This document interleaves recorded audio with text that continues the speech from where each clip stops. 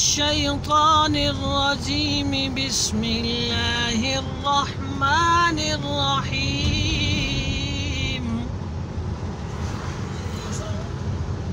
لو أنزلنا هذا القرآن على جبل لرأيته خاشعا متصدعا من خشية الله. وتلك الأمثال نضربها للناس لعلهم يتفكرون.